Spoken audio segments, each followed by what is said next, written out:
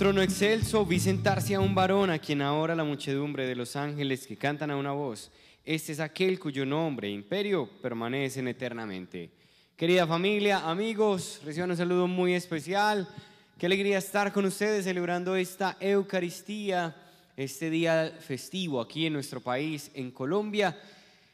Un saludo muy especial para todos ustedes y hoy de manera especial un saludo muy especial para Rosa Elena Acevedo. Rosa Elena, que Dios te bendiga. Nos hemos reunido en esta Eucaristía para celebrar tu vida, tu cumpleaños.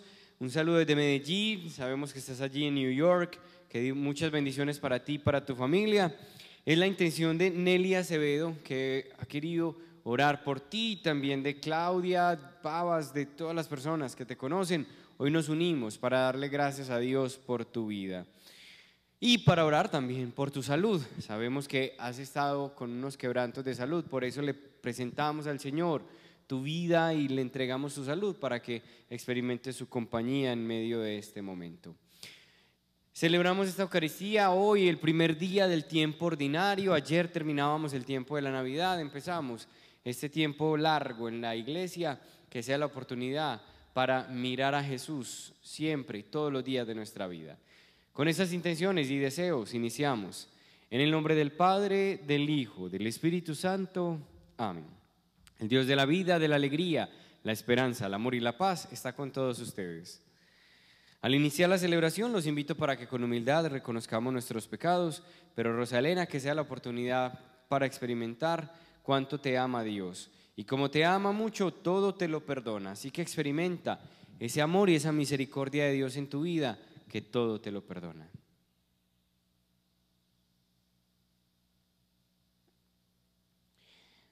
Señor, ten misericordia de nosotros, porque hemos pecado contra ti. Muéstranos, Señor, tu misericordia y danos tu salvación. Dios Todopoderoso tiene misericordia de nosotros, Él perdona nuestros pecados y nos lleva a la vida eterna. Amén. Señor, ten piedad. Señor, ten piedad. Cristo, ten piedad. Cristo, ten piedad. Señor, ten piedad. Señor, ten piedad. Oremos. Acompaña, Señor, con celestial ternura los deseos de tu pueblo suplicante, para que vea lo que tiene que poner por obra y tenga fortaleza para cumplirlo. Por nuestro Señor Jesucristo, tu Hijo, que contigo vive y reina en la unidad del Espíritu Santo y de Dios por los siglos de los siglos. Amén. Comienzo de la carta a los Hebreos. En distintas ocasiones y de muchas maneras habló Dios antiguamente a nuestros padres por los profetas. Ahora, en esta etapa final, nos ha hablado por el Hijo, al que ha nombrado heredero de todo y por medio del cual ha, sido ha ido realizando las edades del mundo. Él es reflejo de su gloria, impronta de su ser. Él sostiene el universo con su palabra poderosa y, habiendo realizado la purificación de los pecados, está sentado a la derecha de su majestad en las alturas tanto más encumbrado sobre los ángeles, cuanto más sublime es el nombre que ha heredado. Pues, ¿a qué ángel dijo jamás, Hijo mío eres tú, hoy te he engendrado? O yo seré para él un padre y él será para mí un hijo. Y en otro pasaje, al introducir en el mundo al primogénito, dice, adórenlo todos los ángeles de Dios. Palabra de Dios. Adoren a Dios todos sus ángeles Adoren a Dios todos sus ángeles. El Señor reina, la tierra goza, se alegran las islas innumerables, justicia y derecho sostienen su trono. Adoren a Dios todos sus ángeles. Los cielos pregonan su justicia y todos los pueblos contemplan su gloria. Ante Él se postran todos los dioses. Adoren a Dios todos sus ángeles. Porque tú eres Señor altísimo sobre toda la tierra, encumbrado sobre todos los dioses. Adoren a Dios todos sus ángeles.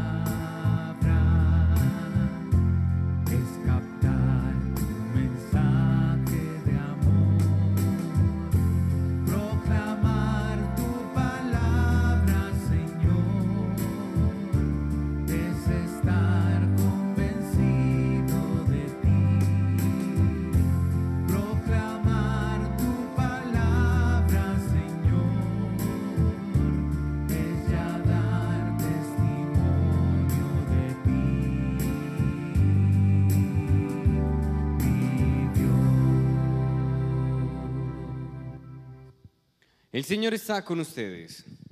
Lectura del Santo Evangelio según San Marcos. Cuando rezaron a Juan, Jesús se marchó a Galilea a proclamar el Evangelio de Dios. Decía, se ha cumplido el plazo, está cerca el reino de Dios, conviértase y crean en el Evangelio. Pasando junto al lago de Galilea, vio a Simón y a su hermano Andrés, que eran pescadores y estaban echando el copo en el lago. Jesús les dijo, vengan conmigo y los haré pescadores de hombres. Inmediatamente dejaron las redes y lo siguieron. Un poco más adelante vio a Santiago, hijo de Zebedeo, y a su hermano Juan, que estaban en la barca repasando las redes. Los llamó, dejaron a su padre Zebedeo en la barca con los jornaleros y se marcharon con él. Palabra del Señor. Gloria a ti, Señor Jesús.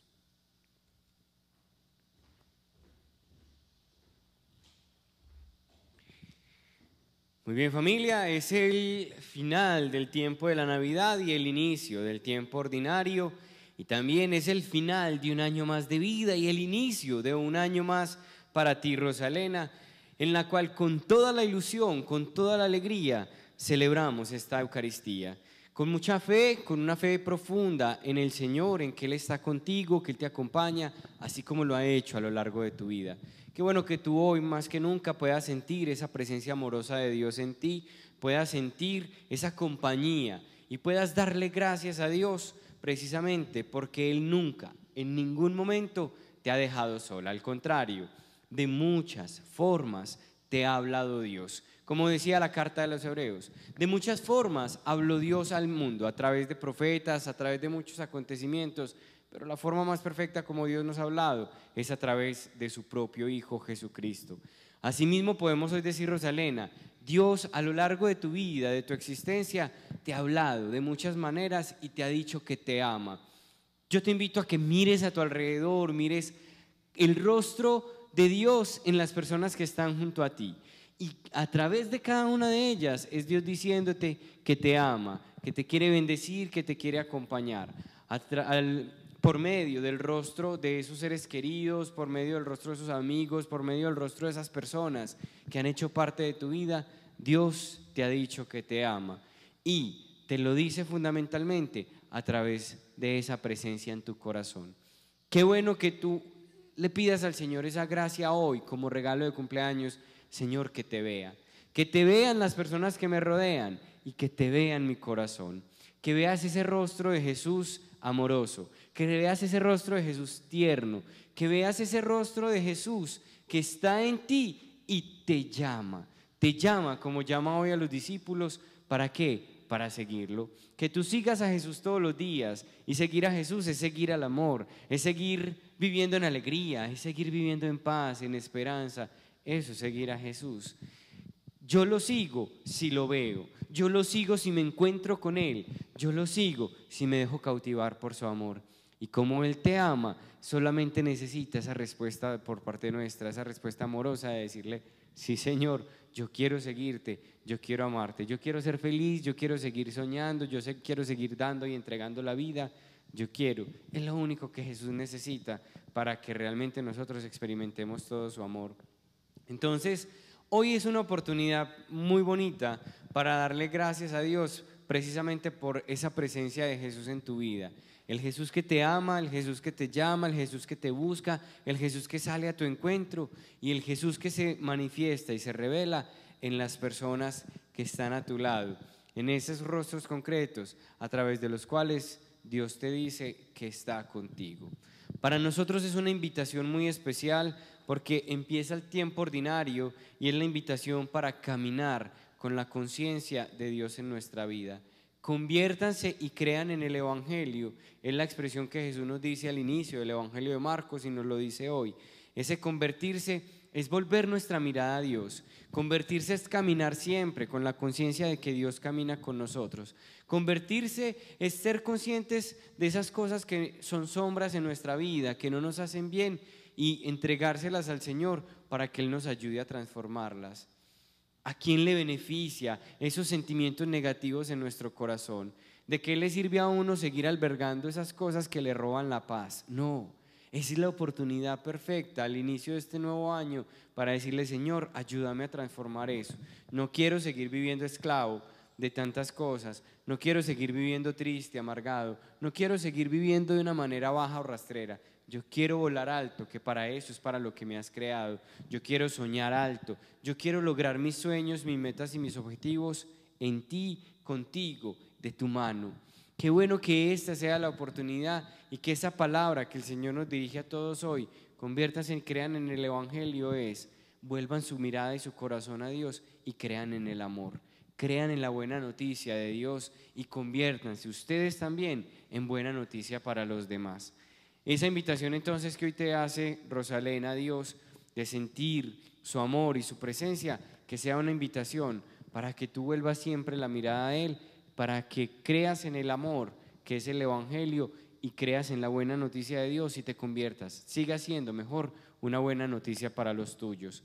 Que todos nosotros seamos buena noticia para los demás y que creyendo en el amor creamos que es posible ser distintos, ser mejores cada día y que creamos en el perdón, creamos en la generosidad, en la solidaridad, en el darnos a los demás.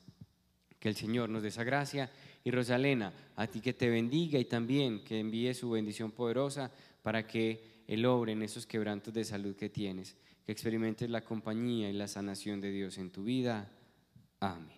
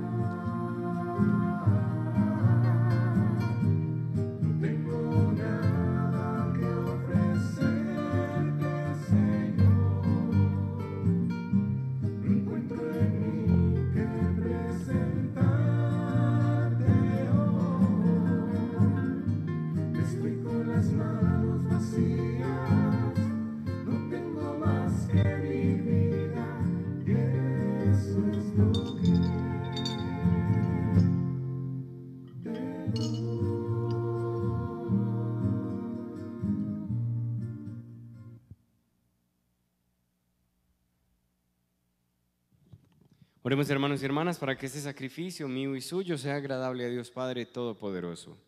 Señor, reciba de tus manos este sacrificio para alabanza y gloria de su nombre, para nuestro bien y de toda su santa iglesia. Te pedimos, Señor, que te sea agradable la ofrenda de tu pueblo, por la cual recibimos la santificación y obtenemos lo que piadosamente pedimos. Por Jesucristo nuestro Señor. El Señor está con ustedes. Levantemos el corazón.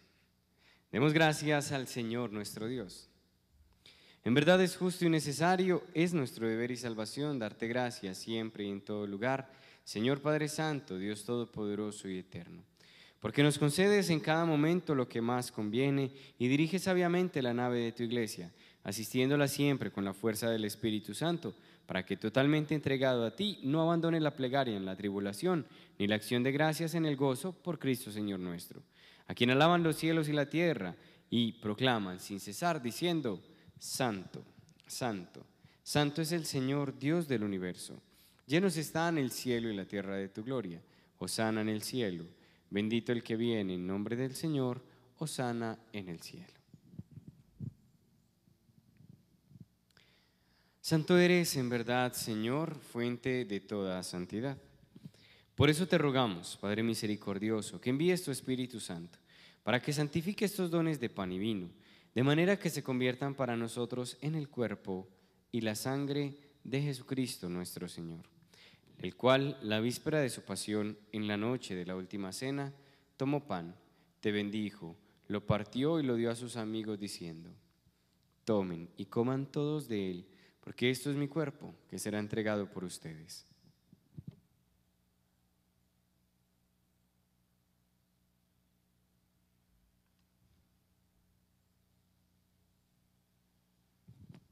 Del mismo modo, acabada la cena, tomó el cáliz. Dándote gracias de nuevo, lo pasó a sus amigos diciendo, tomen y beban todos de él, porque este es el cáliz de mi sangre, sangre de la alianza nueva y eterna, que será derramada por ustedes y por todos los hombres para el perdón de los pecados. Hagan esto en conmemoración mía.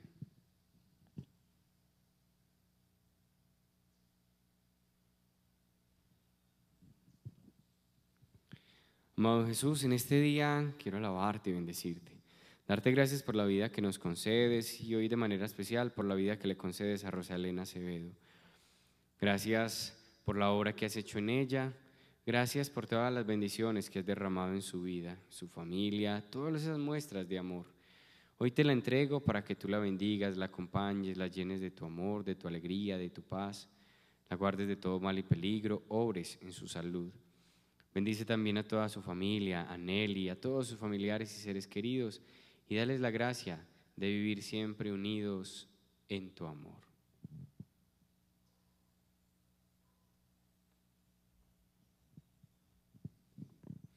Este es el sacramento de nuestra fe. Anunciamos tu muerte, proclamamos tu resurrección. Ven Señor Jesús. Por eso, Padre Santo, al celebrar el memorial de Cristo, tu Hijo nuestro Salvador, al que condujiste por su pasión y muerte en la cruz a la gloria de la resurrección y lo sentaste a tu derecha, anunciamos la obra de tu amor hasta que Él venga y te ofrecemos el pan de vida y el cáliz de bendición. Lleva a tu iglesia, Señor, a la perfección en la fe y el amor, con nuestro Papa Francisco, nuestro Obispo Ricardo, todos los pastores que cuidan de tu pueblo. Llévala a su perfección por la caridad. Atiende los deseos de Rosa Elena Acevedo y en su cumpleaños los de toda su familia. Acuérdate de nuestros hermanos que durmieron en la paz de Cristo y todos los difuntos cuya fe solo tú conociste. Admítelos a contemplar la luz de tu rostro y dales la plenitud de la vida en la resurrección. Y terminada nuestra peregrinación por este mundo, concédenos también llegar a la morada eterna donde viviremos siempre contigo, con los apóstoles y mártires, Santa Teresa de Jesús, y en comunión con todos los santos te alabaremos y te glorificaremos por Jesucristo, Señor nuestro. Por Cristo, con Él y en Él, a ti Dios Padre Omnipotente, en la unidad del Espíritu Santo, todo honor y toda gloria por los siglos de los siglos. Amén.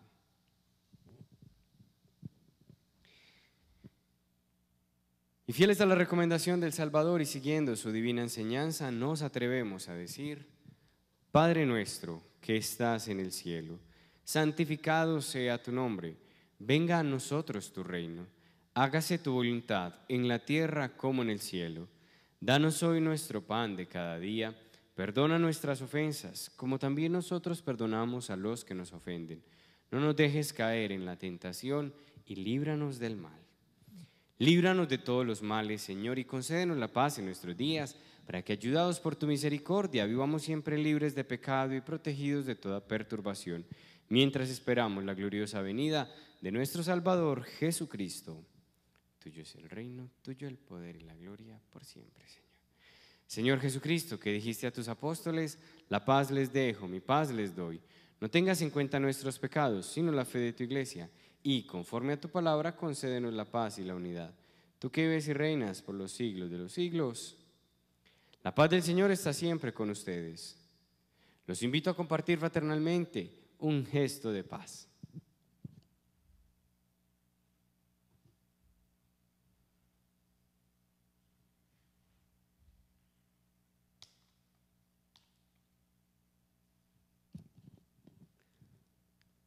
Cordero de Dios, que quitas el pecado del mundo, ten piedad de nosotros. Cordero de Dios, que quitas el pecado del mundo, ten piedad de nosotros. Cordero de Dios, que quitas el pecado del mundo, danos la paz. Este es el Cordero de Dios que quita el pecado del mundo. Dichosos todos nosotros invitados a esta cena. Señor, no soy digno de que entres en mi casa, pero una palabra tuya bastará para sanar.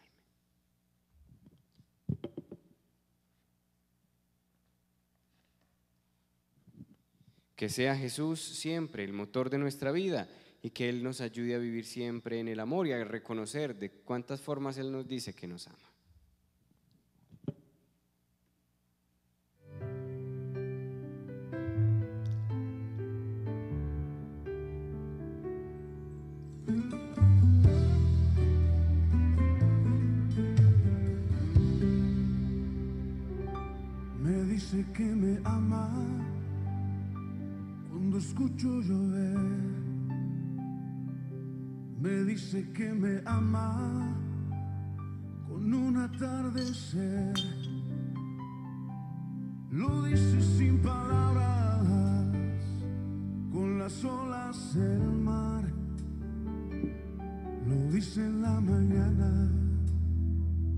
Con mi respirar.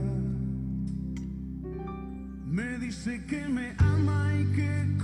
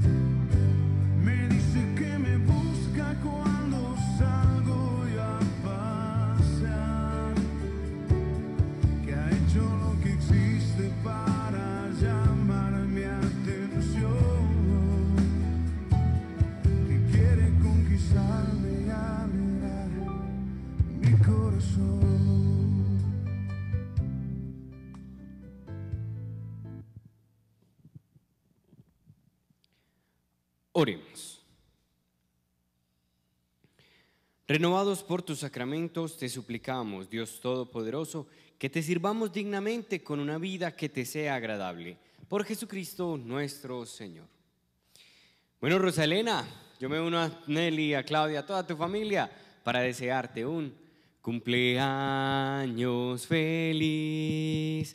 Te deseamos a ti.